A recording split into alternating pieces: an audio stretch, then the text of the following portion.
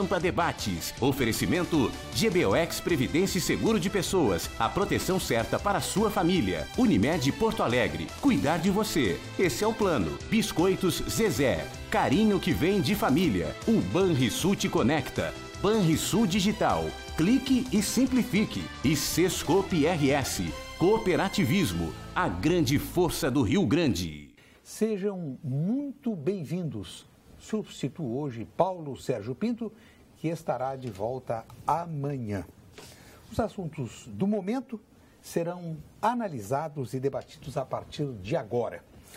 O Supremo Tribunal Federal vai decidir se candidatos avulsos sem filiação partidária poderão concorrer em 2018. É uma inovação. Hoje a candidatura só pode ocorrer quando há filiação, é o que estabelece a Constituição. O Caixa do Tesouro do Estado está totalmente quebrado.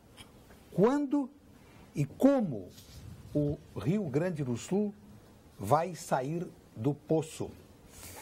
O norte-americano James Ekman, prêmio Nobel de Economia em 2000, criou métodos científicos para avaliar a eficácia de problemas sociais e, para mim, até surpreendentemente, prêmio Nobel de Economia, tem se dedicado a estudos sobre a primeira infância, que para ele é um divisor. E a pergunta que ele faz, e eu também me faço, dá para salvar as crianças? Porque diz que até os seis anos é a condição ideal para que a criança adquira conhecimento. Depois fica muito difícil. Quem paga imposto predial em Porto Alegre escapou na madrugada de hoje, por decisão da maioria dos vereadores, de um aumento pesado, muito pesado. Temas que serão debatidos e analisados pelos participantes do Pampa Debates, o advogado Omar Ferri, o vereador Ricardo Gomes, integrante da bancada do PP, Partido Progressista, na Câmara Municipal de Porto Alegre, o brigadeiro Raul Dias e o médico Paulo Roberto Fontes. Omar Ferri, seja muito bem-vindo, como os demais convidados. Quanto o senhor acha que pagaria de imposto predial caso o projeto do Executivo tivesse sido aprovado ontem numa sessão que se prolongou por mais de 16 horas? O senhor que é morador da Zona Sul de Porto Alegre. Eu tenho terreno na Rua General Rondon, com 24 metros de frente e com 80, com 80 metros de fundo. E uma casa de 370, mais ou menos 370 metros quadrados e mais uma churrasqueira de uns 50 metros quadrados. Eu vinha pagando 8.300. Claro, eu pagava em dezembro, sempre tinha aquele desconto, era um pouquinho menos. No ano passado, a Secretaria da, da Fazenda foi fazer uma vistoria na minha casa. Porque eles tinham me notificado que o meu IPTU ia aumentar para 13 mil reais. Eu fui lá na prefeitura, reclamei, duas pessoas da Secretaria da Fazenda fizeram um levantamento, então viram que não era como a fotografia dizia, então baixaram para 8.300 de novo. Agora, com relação aos fatos atuais, eu falei certa ocasião, agora, há um mês atrás, com o vereador Nagelstein. Ele disse, olha, eu acho que vai para uns 3 ou 4 mil a mais. Depois fiquei sabendo que poderia aumentar 60%. 60% não, não foi? É. Então, 60% vezes 8 dá mais, dá, dá 13 mil. 13 mil reais. Uhum. Então, isso seria.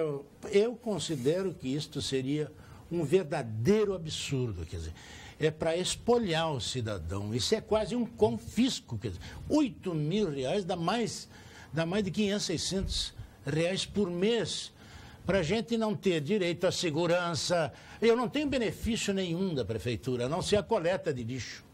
Mas eu pago por ela também. Uhum. Ainda bem que eu me escapei, né? Uhum. Porque faltou, faltou um determinado número de votos para essa investida da Secretaria da Fazenda Municipal conseguir majorar o IPTU em Porto Alegre. Doutor Fontes, qual era a sua expectativa em relação à votação e o resultado deste pretendido aumento do Executivo em relação ao IPTU? Bom, to, todos os indícios eh, diziam que não passariam, né? Embora na véspera teve um, um alento de que talvez pudesse passar algumas emendas, né? Mas feliz, eu acho que foi muito de atropelo esse projeto, eu acho que muito pouco tempo estudado. Talvez eh, ele realmente seja justo desde que sejam analisados por mais tempo e, e vários imóveis e não assim de uma de um canetaço né, da Câmara de aumentar em 60%, que na verdade eu acho que esse era o objetivo, 59%, de aumentar a arrecadação da prefeitura. Né? É. Então acho que foi muito, muito em cima para que se. E ele ficou um projeto bastante antipático, principalmente para aqueles que pagam já IPTU, por exemplo, um, um exemplo. O IPTU, eu acho extremamente injusto o IPTU para terrenos, porque ele sai quase o mesmo preço de uma, de uma casa, sai mais, aliás. A área construída paga menos IPTU do que terrenos em Porto Alegre. Terrenos nem lixo. E o proprietário ainda é obrigado a manter calçada e o terreno limpo. Havia uma tendência, eu acompanhei a sessão, havia uma tendência pela aprovação, mas quando o vereador Cláudio Janta projetou, foi à tribuna e projetou no telão do plenário uma gravação mostrando que o então candidato Nelson Marquesan Júnior, em setembro do ano passado, prometeu que não aumentaria sob hipótese alguma, ali começou a desmoronar alguns apoios que ele estava conquistando. Sua avaliação sobre todo esse episódio, essa tentativa de confisco, Brigadeiro Dias? É, o, o nosso telespectador, eu, você sabe que eu brinco aqui, Burt, e eu estou tentando ser o mais gaúcho dos carioca. Então, quando fui vim para cá em 2007, fui para a reserva em 2010 e decidi que iria sentar praça agora nas querências gaúchas, porto alegrense. E construí, vendi tudo no Rio, Brasília, tinha um imóvel, tinha um imóvel em cada lugar, e construí uma casa lá no Guarujá, também lá na Zona Sul. Hum. E é o que eu tenho. A casa, o carro e a moto. Né? São os meus bens. Uhum. Né? E, e, eu vi, fiquei realmente preocupado, né? porque eu, eu vi todo esse movimento. Agora, não vou entrar no mérito de como o projeto foi encaminhado. Agora, como, como contribuinte, como uma pessoa olhando de fora, vou te dizer com muita sinceridade, foi de uma inabilidade esse encaminhamento. Foi uma demonstração de como não se deve fazer política. Isso na minha visão. Não vou nem, para não me estender mais, uhum. que é, o, que é a, a, a, o, né, o Ceará aí do, né, do, nosso, do nosso vereador. Então, vamos conversar com o protagonista que zelou pelos interesses da grande maioria da população, o vereador Ricardo Gomes. Eu, antes da sua manifestação, eu quero lhe, lhe parabenizar pela coragem, porque normalmente na vida pública, os pretendentes a ocupar cargos, eles ficam brigando. O, o vereador Ricardo Gomes foi eleito vereador, se candidatou pela primeira vez, foi eleito e foi trazido para o Executivo por iniciativa não do partido, mas por escolha pessoal do, do prefeito Nelson Marques Júnior, reconhecendo a competência, o zelo, a atenção, sua responsabilidade eh, como profissional competente da área do direito. E o, o, o peão da nova, do novo desenho era a Secretaria de Desenvolvimento Econômico, a super secretaria, superpoderes depois o secretário deixou o cargo, pediu para se retirar do executivo, deixou de integrar o secretariado por divergir deste, deste projeto. 16 horas e meia de sessão ontem. Uhum. Larga a sessão. deu para cansar, mas deu também para deixar muito evidente que a Câmara, e eu parabenizo a todos os vereadores que se envolveram no debate, é, com atenção, com dedicação. Os debates foram ricos e, e parabenizo especificamente os 25 vereadores que se opuseram ao aumento exagerado de, de impostos em Porto Alegre. Vereador Ricardo. Obrigado, antes de mais nada, Boris, pelas, pelas tuas palavras. É, ontem foi um, uma sessão uh, muito longa, foram 16 horas de, de, debate. O projeto, acho que ele foi esmiuçado, ele foi. Uh, nós tratamos dele nos, nos, seus últimos detalhes. O secretário da Fazenda estava na, na, Câmara de Vereadores, também atendendo os vereadores, uma, com a equipe de técnicos da Fazenda, o vice-prefeito Paim, o, o líder do governo, Moisés Barbosa, também trabalhando. Então, foi, foi possível fazer uma análise bem profunda do, do projeto. Eu me opus ao projeto desde o início, quando estava ainda na administração, na secretaria, e comecei a, a entender e expressei o meu incômodo com especialmente com o impacto que esse que esse projeto teria se fosse aprovado sobre as famílias e sobre a economia do município. Uh, ao fim e ao cabo, isso seria parcelado no tempo, não seria instantaneamente, mas ao fim e ao cabo seria um aumento de 59,4%, 58,4% na arrecadação de IPTU. Isso é, 288 é milhões de reais que sairiam das famílias porto-alegrenses para o município. O município está quebrado, é verdade. Mas as famílias também estão. Estão 10% de, de, de uh, desemprego, índice de desemprego. Nós temos no Rio Grande do Sul foram 17 mil lojas fechadas entre 2015 e 2016. E esses 288 milhões saem do consumo das famílias. Elas deixam de consumir na, na padaria, na, no supermercado, uh, numa consulta médica que poderia fazer por opção, sem a fila do SUS. Poderiam, enfim, poderiam hum. aplicar esse dinheiro na economia e gerar empregos, e gerar renda e, e não aumentar o desemprego. Quando o governo subtrai esses 280 milhões de circulação, é óbvio que isso tem um impacto no nível de emprego, na, nas vendas do, do, do, comércio. O que faz um lojista? Tem sua, o seu custo aumentado com o aumento do imposto e a sua venda reduzida. Nós estamos contribuindo para não desenvolver Porto Alegre. Então eu, eu me opus desde o início ao projeto. Ele tem outra, tinha outro problema para mim, na minha visão, que era a alíquota progressiva, isso é, trata desigualmente os porto-alegrenses. Quanto maior o valor do imóvel, maior a sua alíquota. Obviamente que uma alíquota de percentual já faz esse papel. Né, já faz o papel. Um, percentual sobre um valor grande é, é, muito mais é do muito que sobre percentual sobre um valor essa, essa, é matemática essa, básica. Isto é próprio né, das ideologias socialistas e comunistas. Isso é assim que eles agem.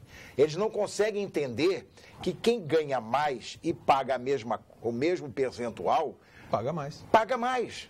Isso. Não, eles querem tirar mais. E aí tiram empregos, né, tiram consumo, que por sua vez tiram emprego de novo. Então, essa, essa lógica, vereador, essa, essas pessoas não conseguem entender. Tem, tem uma visão de classe aí é, subjacente e eu ontem disse no, no plenário, especialmente os, os, os, vereadores do PT e do PSOL que queriam justamente, é, confirmando o que o senhor está dizendo, os vereadores do PT e do PSOL queriam aumentar ainda essa, essa progressividade da alíquota e eu disse que parece que querem expulsar os ricos de Porto Alegre. Vão, vão, embora com a sua riqueza, nos deixem aqui com a nossa Já expulsaram pobreza. as empresas. Não, quem tem uma propriedade como a minha é muito boa, tudo bem.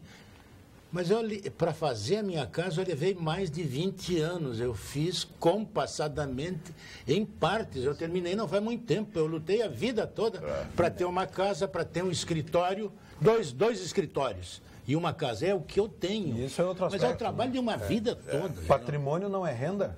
Sim, é o sujeito tem patrimônio, mas não tem renda para bancar um IPTU sobre esse patrimônio? Ou sem falar que possivelmente também aumentaria a inadimplência, né?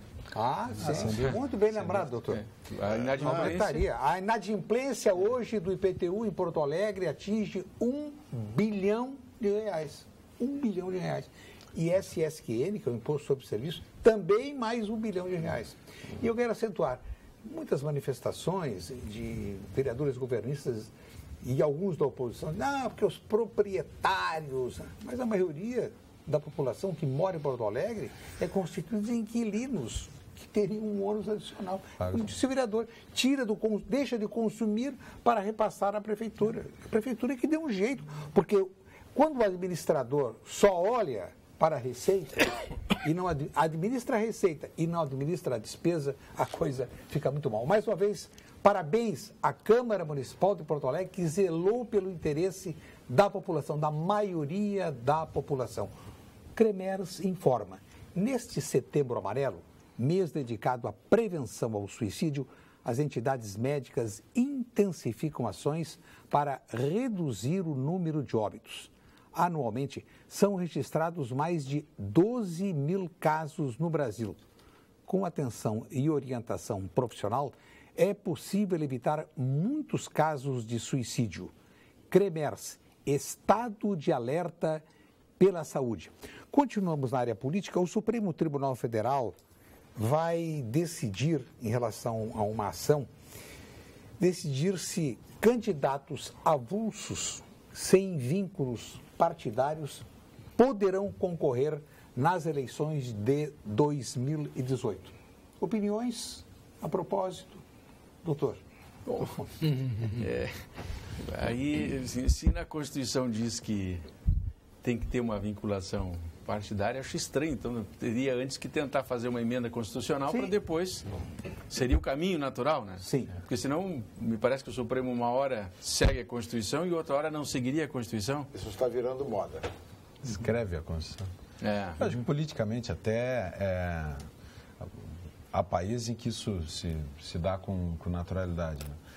Uh, tem, tem impactos positivos, tem, tem um lado que eu acho positivo, que é uh, liberdade de, de concorrer, disputar um, uma vaga, mas vejo uma dificuldade também na, na, na, na, formação de maioria dos parlamentos, que hoje já, já, já é uma dificuldade. Eu sou a favor da liberdade, eu, eu, eu gosto da regra, mas eu estou analisando o impacto que ela teria.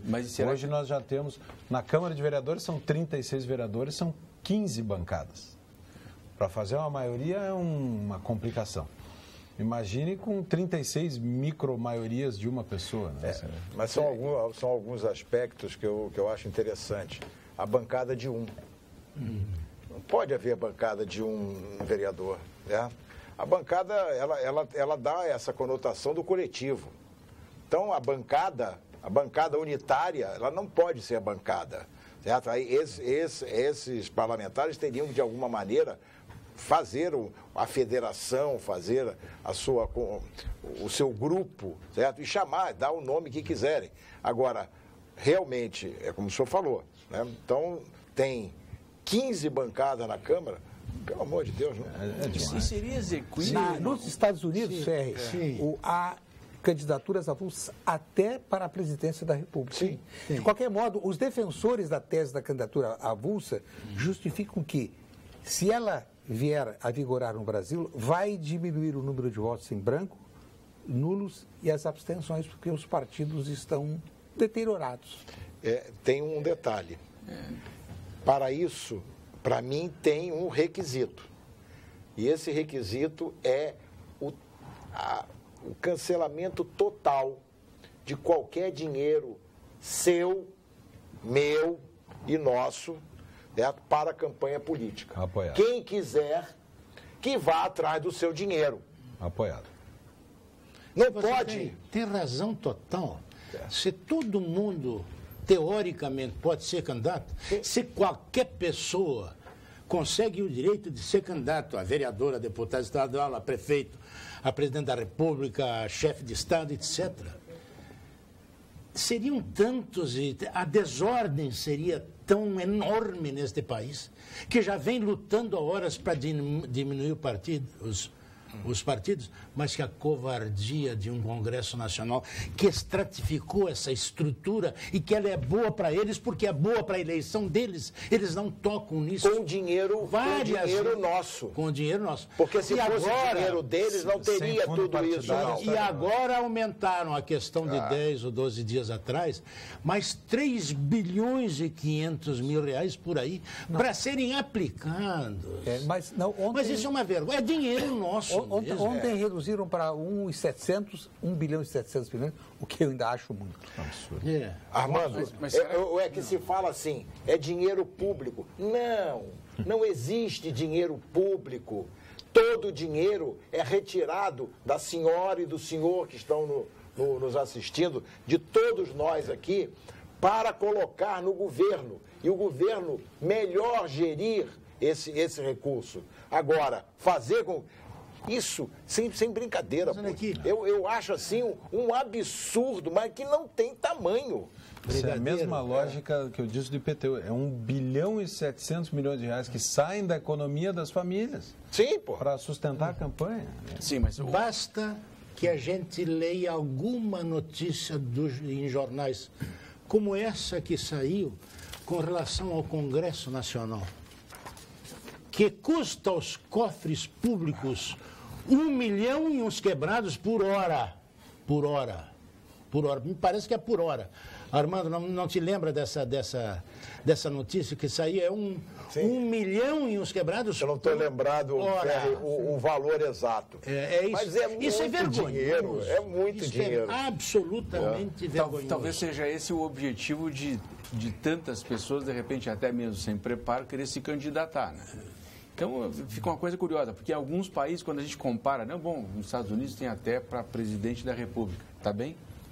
Só que a educação deles e o sistema é completamente diferente do E não nosso. tem um tostão. Um. É, é não comple- tem um dinheiro penny, nosso, Um nosso, penny. nosso, É. deles, né?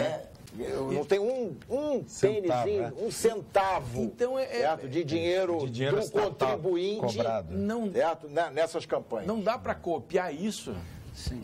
para um país e que nem ninguém, o nosso. E ninguém nesse pode levar a política como ela é exercida ou feita nos Estados Unidos ou proselitismo político partidário para adaptar em qualquer país do mundo, porque lá é tudo absolutamente diferente. Impera Essas- completamente grandes fortunas, grandes interesses de Isso. grandes Mas eu, companhias. eu tenho uma pergunta provocadora. Será que será mesmo que em outubro do ano que vem mudarão significativamente as figuras no Congresso? Eu não tenho dúvida.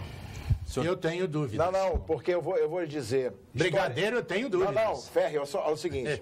Eu, Eu tenho vou- quase certeza que não vai mudar. Não, não, muito, vai, vai mudar sim. Vai, vai mudar. do- vai, Vai, mudar por esta maquineta aqui, tia.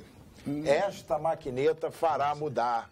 Mas- É esta informação Brigadeiro. que todo, inclusive o pobre, tem hoje através me, daqui. Me desculpe É. se eu Não. me aparteio, mas eu parto do princípio que existe hoje no Brasil uma generalizada falta de entendimento político, de conscientização política, de consciência do eleitor. Ele não tem um nível de cultura hoje.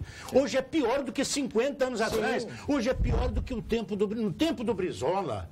A gente entrava em qualquer bodega do interior de Encantado, um município com cinco, cinco ou seis distritos de Encantado, é, Antagorda, Putinga, Revado, Arvorezinho e, e Doutor Ricardo.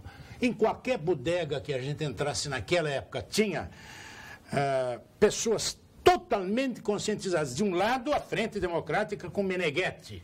E do outro lado, o Brizola com as ideias brizolistas. Todo mundo discutia política e sabia como discutir e tinha a sua, a sua opinião.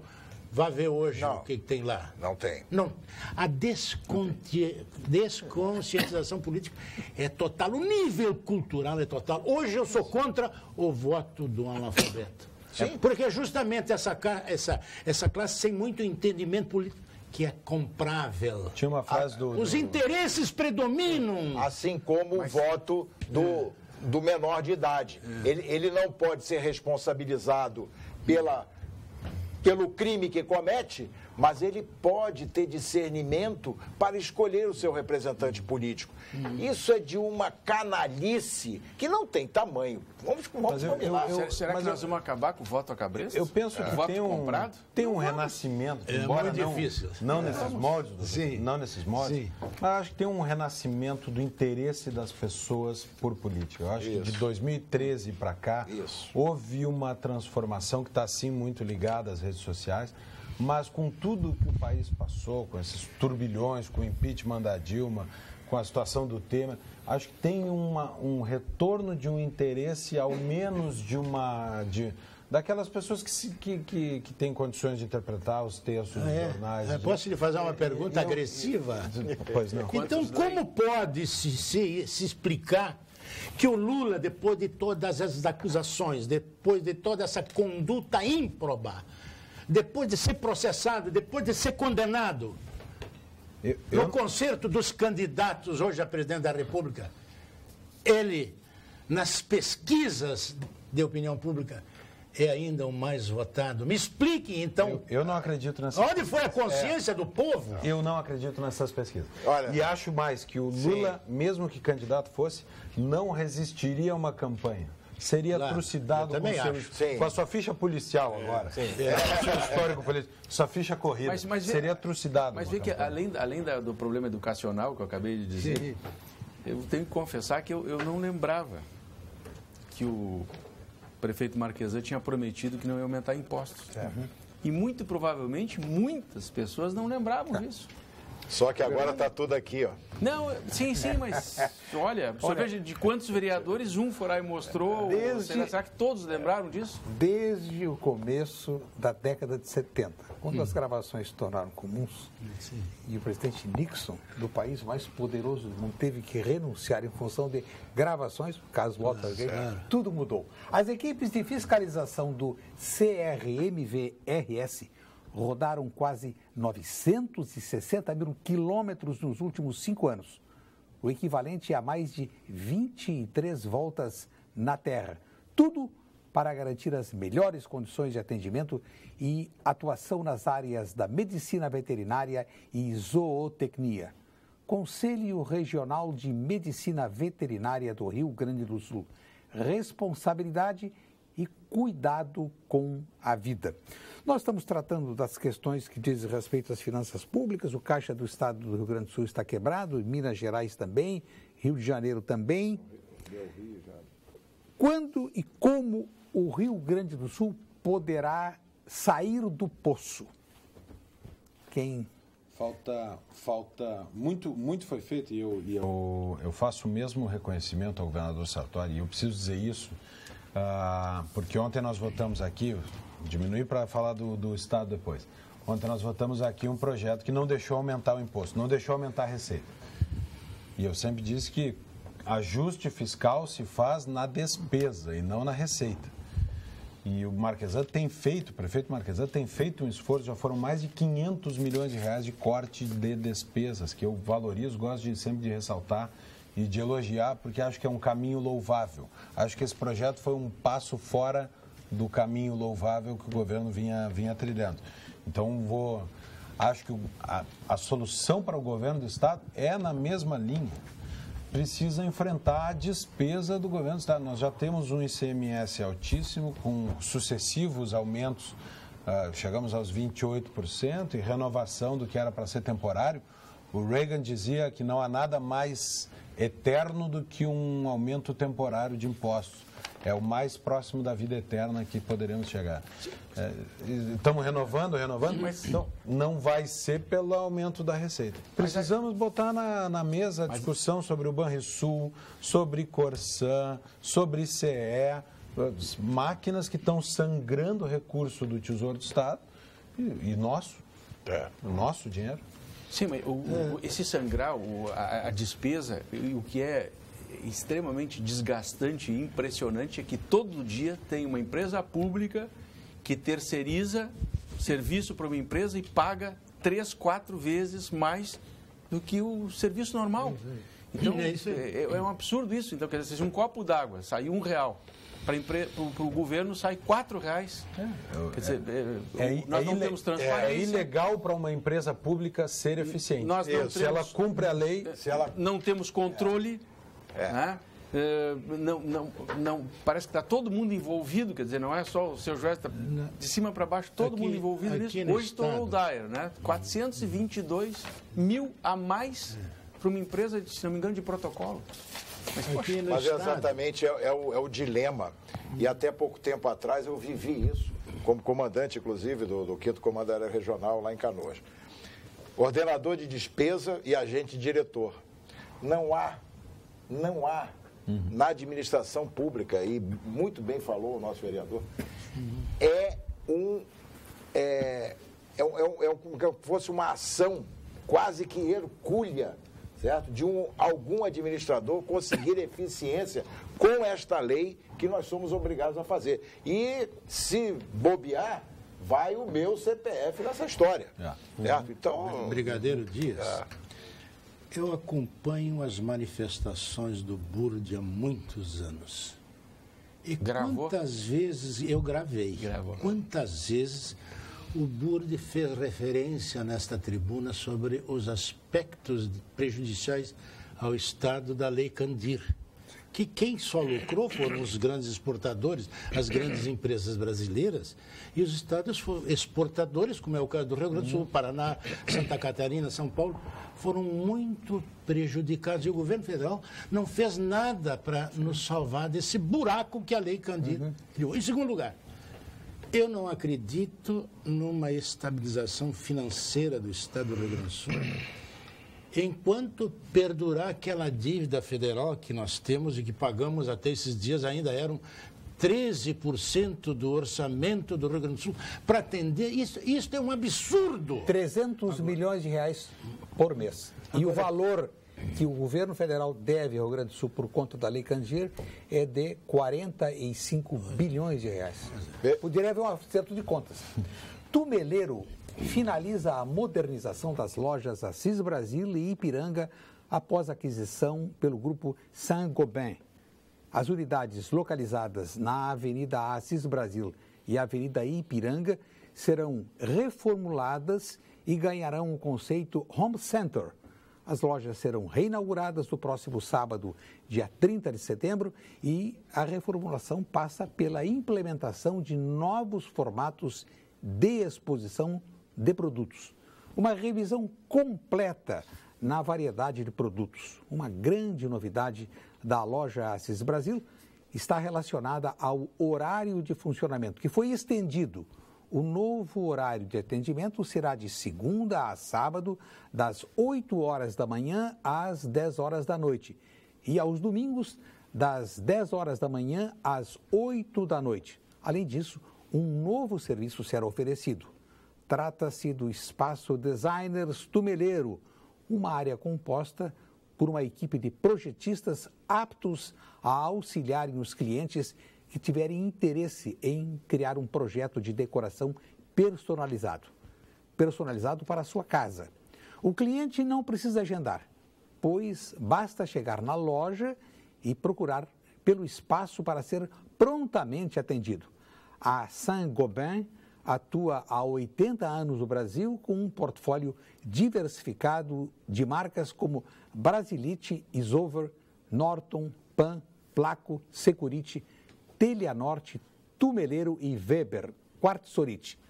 O grupo possui cerca de 17 mil funcionários diretos e indiretos no país. Vendas anuais de 8,7 bilhões de reais em 2015 assim como 57 fábricas, 43 centros de distribuição, 10 mineradoras, 41 lojas, 23 escritórios comerciais e um centro de pesquisa e desenvolvimento. Nós estamos falando em desempenho econômico, estamos falando em política. Eu quero lembrar que na campanha presidencial de 1992 dos Estados Unidos, o assessor de Bill Clinton, o economista James Carwile, ele utilizou uma expressão que se tornou conhecida mundialmente, uma espécie de slogan. Foi o slogan da campanha, quando perguntaram para ele como é que vai ganhar a, a eleição. se o George Bush está tendo êxito na guerra do Golfo. E ele disse, é a economia, e usando uma expressão chula, estúpido, é a economia. Agora, eu acho que se hoje James fosse o assessor do presidente Michel Temer, ele acabaria desempregado. Porque mesmo com a inflação baixa, os juros baixando, a liberação de 42 milhões de reais das contas inativas do Fundo de Garantia por Tempo de Serviço. Além dos sinais de que a economia vai se recuperar, as pesquisas mostram o presidente Temer cada vez mais descendo a ladeira. Como se explica, se justifica? Será que o assessor norte-americano do Bill Clinton tá, estava, estaria completamente errado em relação ao Brasil? Acho que a frase hoje seria é a corrupção estúpida. Ah, é, para ele. Ah, um pouco do que eu estava dizendo do, do, do, reinteresse das pessoas. É, é escândalo atrás de escândalo atrás de escândalo. Mesmo que a economia se recuperasse com milagre econômico, não tem como ter Mas, vereador, credibilidade. Se fosse o escândalo, e repetindo o que disse Omar Ferri, Luiz Inácio Lula da Silva não estaria ponteando as pesquisas. Eu, a, a, não ganhou a eleição. O escândalo do mensalão não surgiu em 2005? Sim. O presidente não se reelegeu em 2006? Acho que há um aspecto. E a, há uma diferença. É. Eu acho que no, no escândalo do mensalão havia uma desconfiança quanto ao escândalo. Eu acho que muito, uma parte muito grande da população não acreditou no mensalão foi algo surpreendente. Agora nós estamos calejados, ninguém duvida que o presidente da República faça as coisas que estamos vendo. Mas se até e eu, de novo, não acredito nessa popularidade toda. Do não acredito Acho mesmo. sendo levado mesmo. a teste, naufraga. Não acredito de verdade.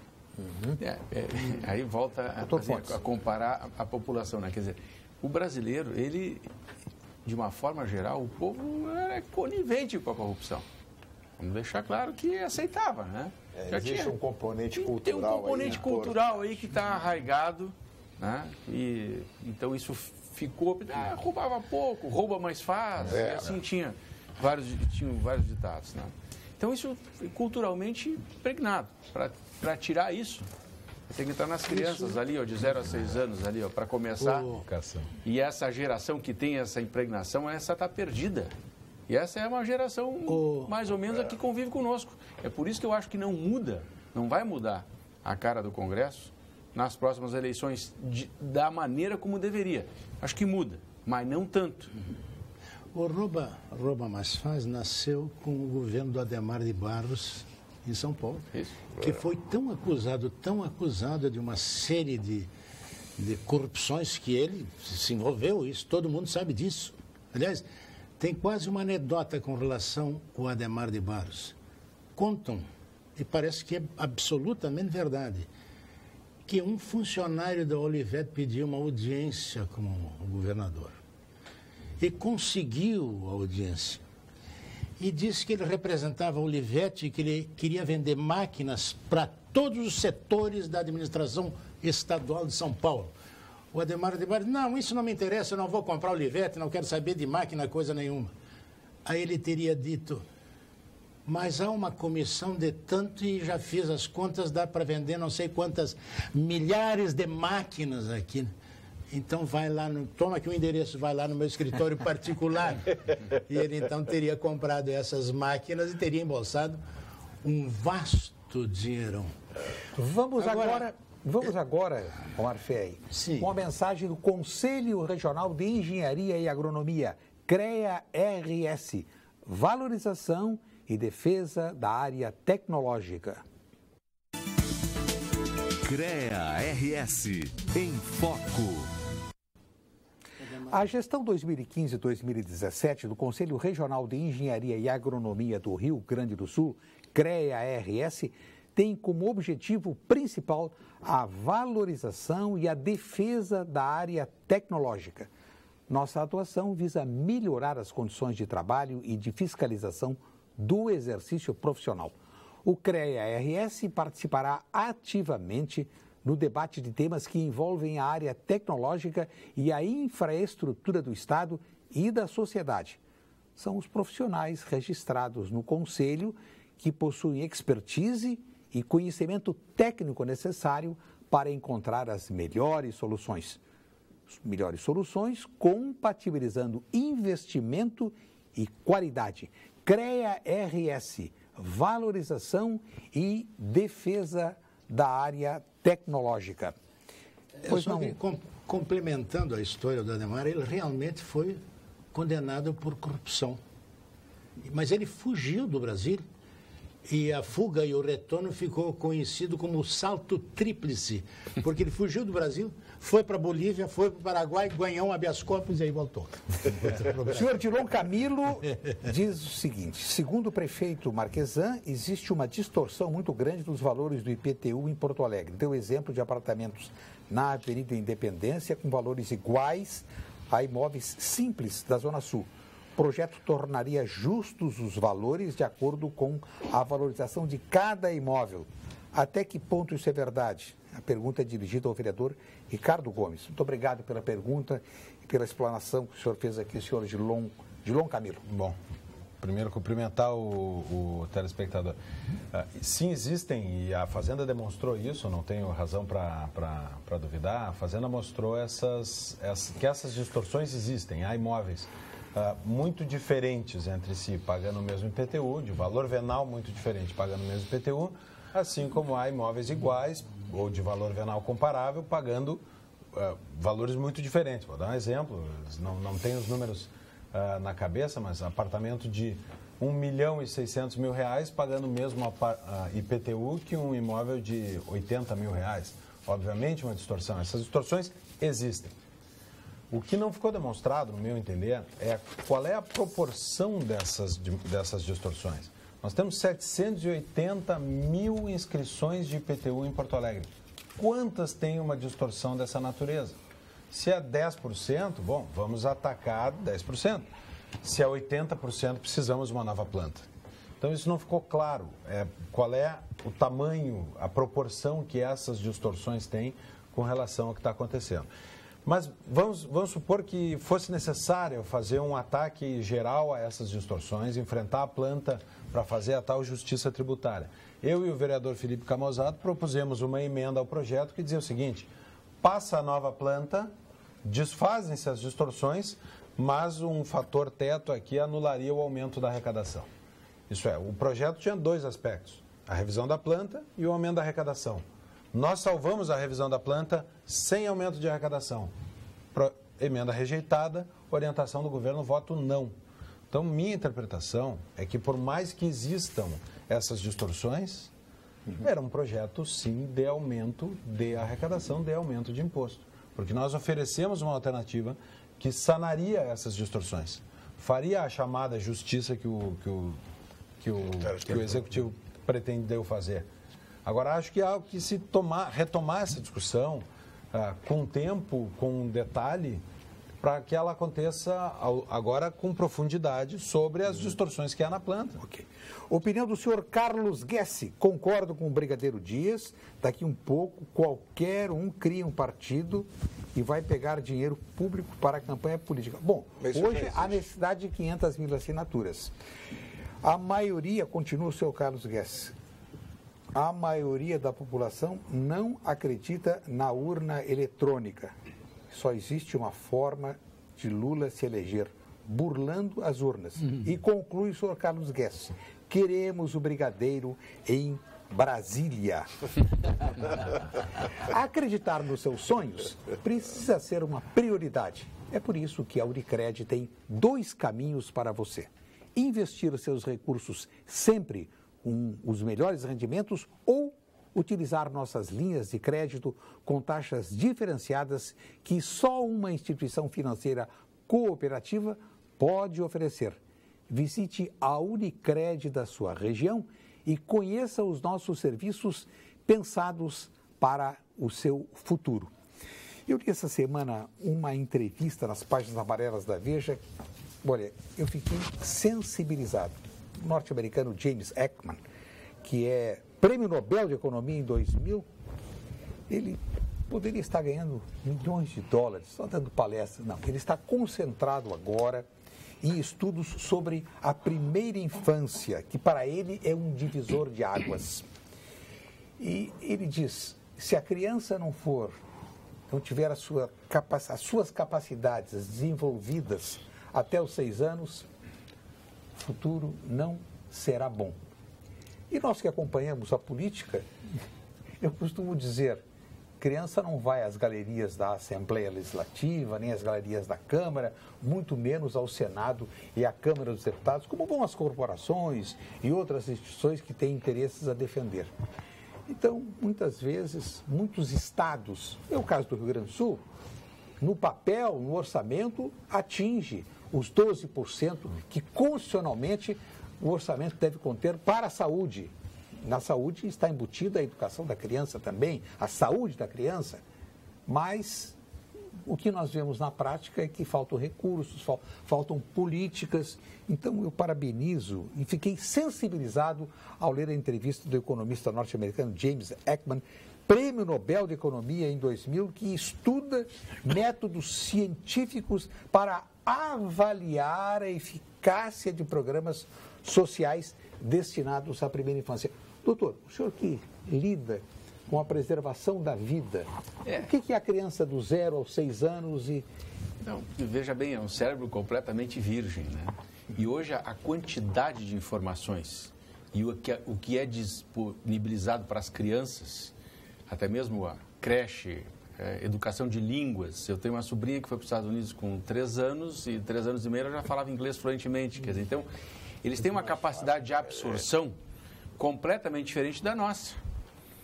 É, certamente a gente já passou pela experiência né, de quem tem. Eu tenho um filho um de 37 e o caçula de 16. E quando ele tinha 15, eu dizia para minha mulher: eu com 15 era um débil mental. e ele discu discutiu Brexit, uh, contrapunha Angela Merkel, sabia da eleição, do Lula, até dizia que o Lula, se estivesse morando em Porto Alegre, não ia pagar IPTU, porque nada é dele, tudo do amigo. então, essas, elas têm uma capacidade de absorção que realmente é impressionante. Quanto mais jovem, mais agrega conhecimento. Sim. Né? Mas quando a criança fica ao relento, o pai não tem instrução, não tem escola, não tem. A escola está próxima e não incentiva. É. Esgota-se aos não, seis anos? Não, não, não. veja assim. uh, o homem ele, ele, aprende com remorso e com sofrimento, né? Do ponto de vista psiquiátrico, ele, ele aprende com essas. São os, é o que mais ensina. Né? Quando ele sofre, realmente sofre, com o, o remorso. Ah, essas crianças que são desprivilegiadas, do ponto de vista social, elas têm um outro, um outro ganho, que é a, a sobrevivência. Como viver, né? Então, é, é, na verdade, o, artigo diz que é, ele, não separa, assim, não há uma fronteira entre os até seis anos tiverem benefício e depois dos seis anos não. Elas têm muito mais chance de desenvolver e de contribuir para a sociedade, para a comunidade, do que aquelas que não tiveram as mesmas oportunidades. Mas isso não anula né, que algumas crianças têm um desvio, né, mesmo não tendo as mesmas possibilidades. E depois dos seis anos é inequívoco que se aprende, né? Se aprende muito. muito. Né? Só que a, a, a sedimentação, é, eu não diria só até os seis anos, acho que ela vai até a adolescência, né? O até a adolescência aprendem muito. Deixa eu dar um dado que nos faz refletir um pouco sobre a, a qualidade do ensino que nós estamos oferecendo. Ah, ensino público, eu digo, em Porto Alegre. 80% dos alunos da rede pública de Porto Alegre não sabem nada. Não têm proficiência em matemática e português não sabem nada. Sim, aí se baixa, se baixa a nota para que eles não rodem de ano. E a gente depois dá um, ah, precisa precisa uma cota social para entrar na universidade, Sim. porque nós não tivemos competência de ensinar essas crianças quando estão na, na rede pública. Então, acho que também é urgente uma revisão do sistema público de educação é. brasileiro. Eu, eu, eu tenho a maior consideração pelos professores, carinho, eh, zelo, respeito mas eh, a, a, Prefeitura de Porto Alegre, o senhor que lidou tão intimamente com o orçamento, é mais paga. o pagamento, o, o salário ganho pelo professor da rede pública municipal de Porto Alegre é um dos mais altos do país. É no mínimo dobro do, do governo do estado.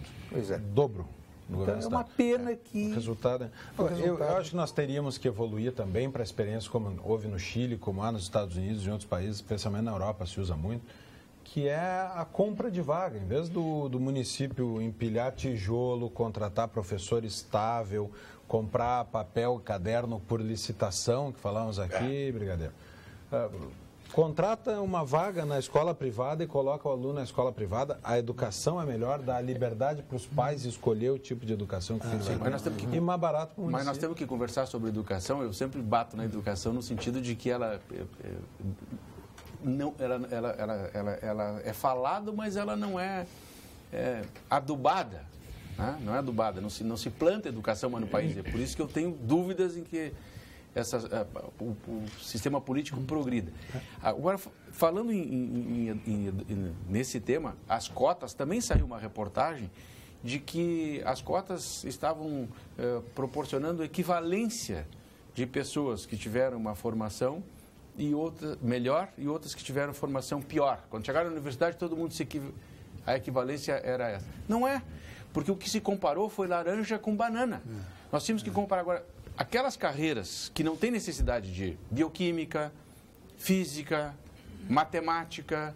Bom, então são carreiras que provavelmente há uma certa Várias e várias manifestações, Omar Ferre. A senhora Lilian Mansur aqui faz uma. envia sua mensagem, é funcionária do Executivo e disse, governador, go- senhor governador, trate de nos pagar integralmente em dia. Só isso queremos, pois justiça é isso.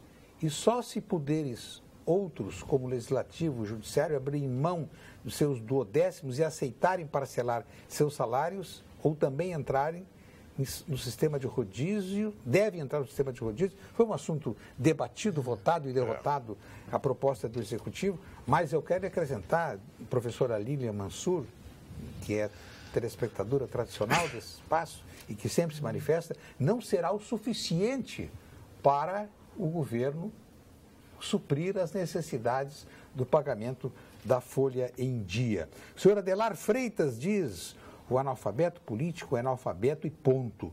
O povo exige mudança desde que não mexam no seu bolso. Todo cidadão tem seu político de estimação. Quem paga a conta é a sociedade analfabeta. Opinião do senhor Adelar Freitas. Tubeleiro finaliza a modernização das lojas Assis Brasil e Ipiranga após a aquisição pelo grupo Saint-Gobain. As unidades localizadas na Avenida Assis Brasil e Avenida Ipiranga serão reformuladas e ganhariam, ganha- ganharão o conceito de home center. As lojas serão reinauguradas no próximo sábado, dia 30 de setembro. A reformulação passa pela implementação de novos formatos de exposição de produtos, uma revisão completa na variedade de produtos e uma grande novidade da loja da Assis Brasil. Está relacionada ao horário de funcionamento que foi estendido. O novo horário de atendimento será de segunda a sábado, das 8 horas da manhã às 10 horas da noite. E aos domingos, das 10 horas da manhã às 8 da noite. Além disso, um novo serviço será oferecido.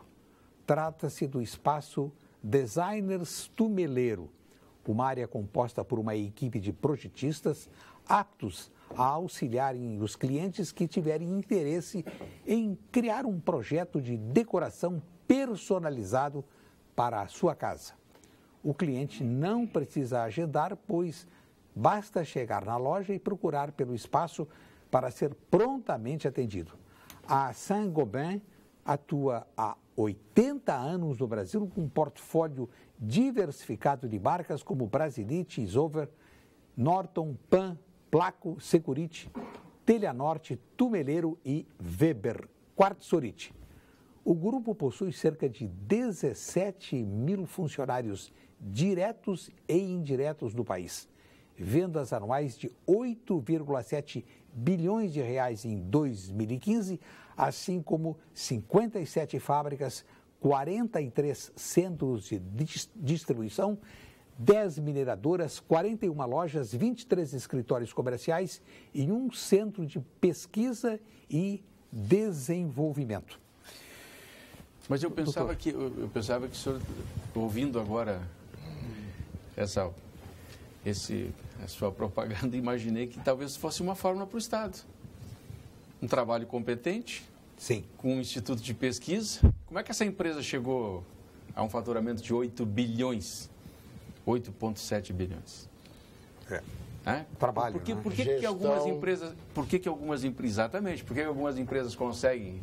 Certamente o controle, a disciplina, a, a- a disponibilidade ao trabalho das 8 às 10 da noite. A né? meritocracia. Meritocracia. Quem não é bom não fica. Lá não tem cota. Ah, pois é. Quem não é bom não fica, não Quem tem não é estado. bom não fica. O senhor Então nós Fer- já temos os exemplos. Pois não. O senhor Fernando Eitich diz: Estou com o Marferre. O Brasil tem 50 milhões de analfabetos, 25% da população.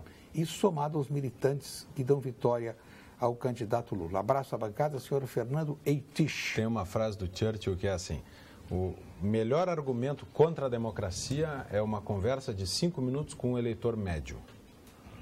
Quem conversa com o eleitor médio diz que a democracia nunca vai funcionar. Aqui no Brasil, o eleitor médio tem uma educação baixa, tem ah, pouco acesso à, à formação, tem pouco acesso à informação ou não busca informação é, são desafios da democracia. Agora, eu, eu também não idealizo a democracia em outros países do mundo. Ah, a- agora, nos Estados Unidos, a eleição do, do- do Trump é difícil dizer que é uma eleição conduzida por, por- pela- pela- pelas ideias de um candidato, pela intelectualidade ou pela, pela educação do povo. A volta do partido da AFD, Alternativa para a Alemanha, um partido radical ah, proto-nazista ao parlamento, não depõe a favor da- da- do eleitor médio alemão.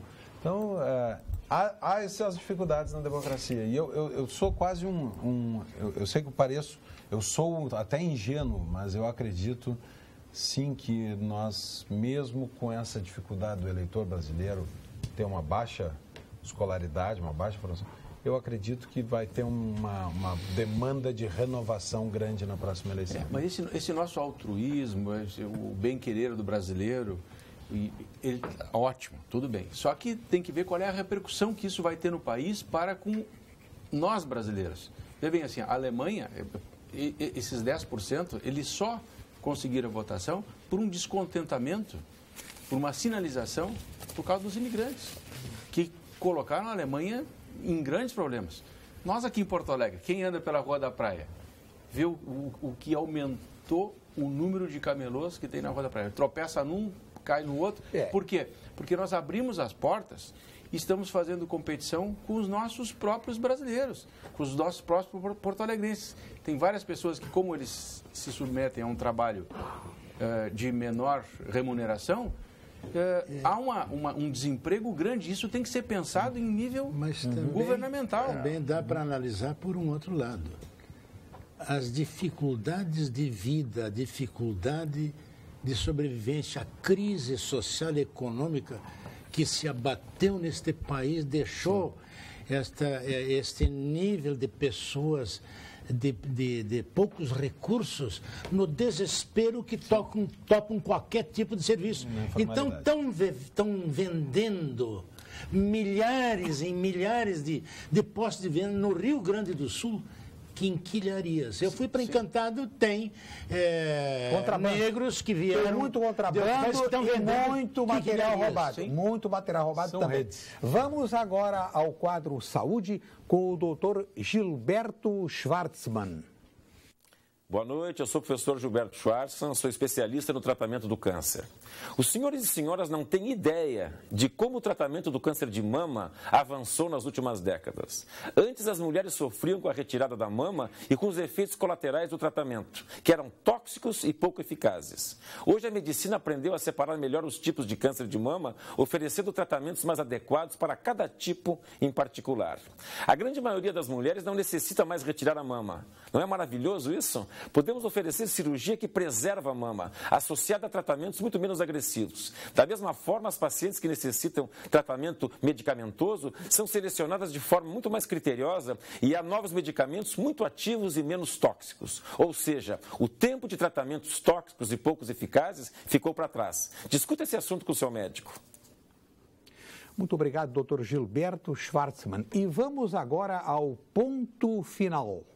Ponto final. Oferecimento: Produtos Gimo. Qualidade comprovada. FCDL apresenta Que Comércio, o maior e mais completo programa de qualificação e gestão de empresas. Ponto final do advogado Omar Ferri.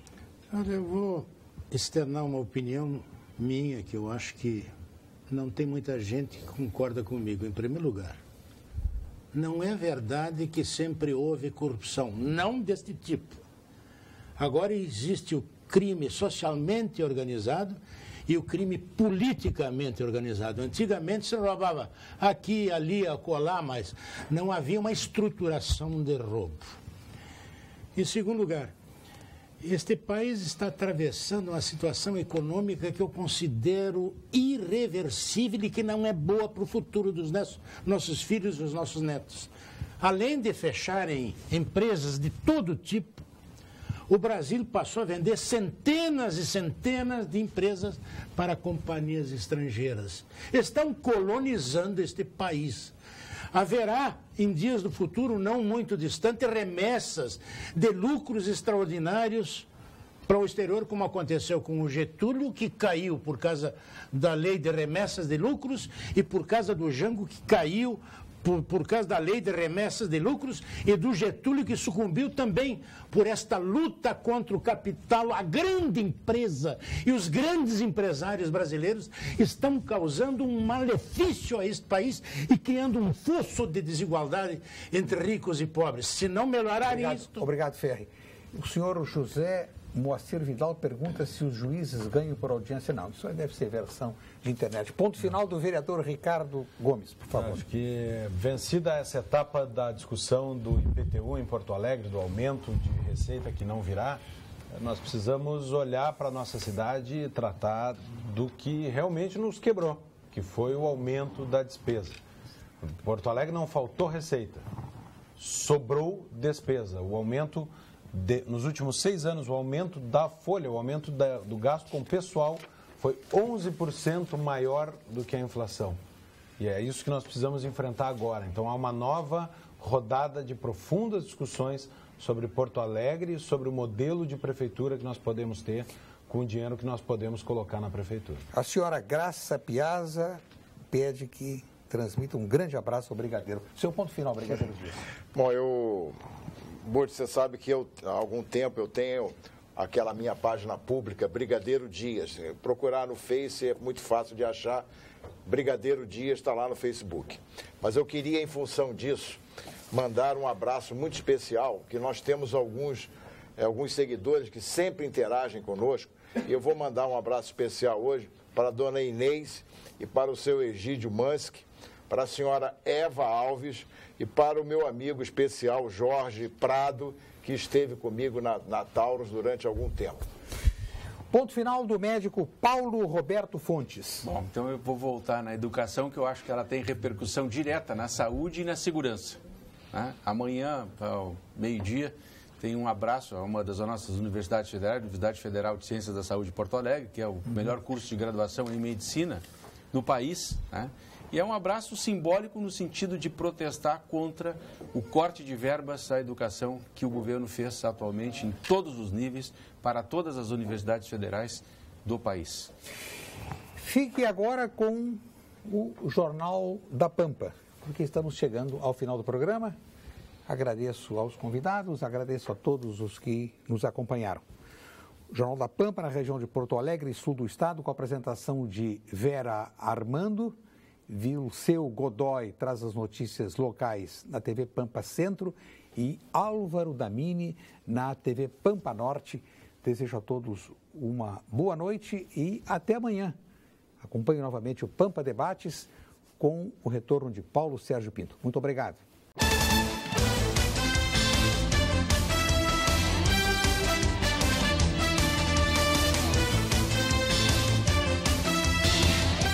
Pampa Debates. Oferecimento GBOX Previdência e Seguro de Pessoas. A proteção certa para a sua família. Unimed Porto Alegre. Cuidar de você. Esse é o plano. Biscoitos Zezé. Carinho que vem de família. O Banrisul te conecta. Banrisul Digital.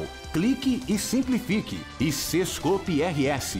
Cooperativismo. A grande força do Rio Grande.